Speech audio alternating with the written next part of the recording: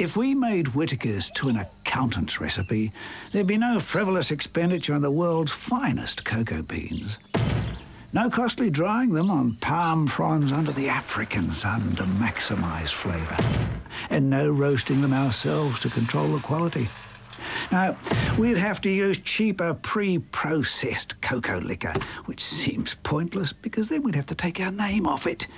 Whittaker's roasting bean counter since 1896.